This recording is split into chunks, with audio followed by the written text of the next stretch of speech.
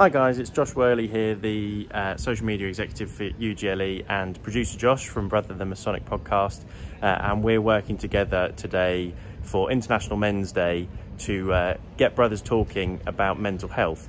Um, my personal story isn't necessarily um, the most obvious, and I think that's the point, is that um, I, I, realised that I was um, shaking my legs quite a lot. I was starting to pull hairs out and pull pull beard hairs out and all this kind of these tiny little habits that I was doing when things were getting a little bit stressful or I was you know in a slightly difficult situation.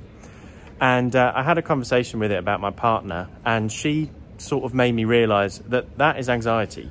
That is stress and that is anxiety. And it doesn't have to be something as big and uh, kind of major mental health and mental health disorders don't have to be this big major horrible breakdown. It can be small things that just niggle away and nip away at you day after day.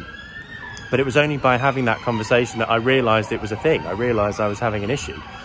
And uh, through having that conversation and realizing that that was anxiety and that was my way of dealing with stress and it was me pulling my hair out and shaking my legs all day and these tiny little things it gave me the opportunity to then work out, okay, I need to do something about this. And so start to practice with mindfulness and, and write down things that were stressing myself out. So I guess the message is these tiny little things that niggle you, have a conversation with someone about it and you might be able to, to find a, an answer to it.